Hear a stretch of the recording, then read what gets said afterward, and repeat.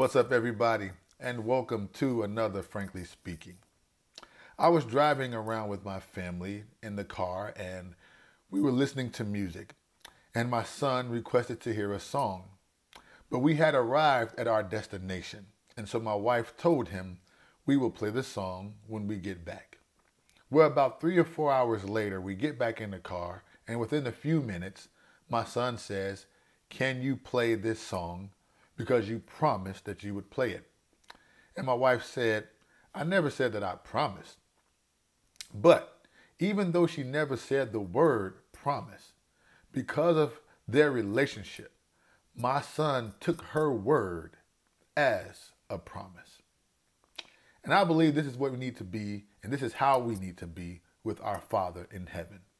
Scripture says that God's word never returns to God void. It accomplishes everything that it was sent to do. That when God speaks, it's a promise. And so I want to encourage you because you've made some pivots in your life based upon God's word to you. God said that God would do things in your life, in you and for you and through you. And you begin to make those pivots to adjust to that word. And now it seems as if things are a little bit difficult, that the word is not coming forward. But I want you to know that God's word is God's promise.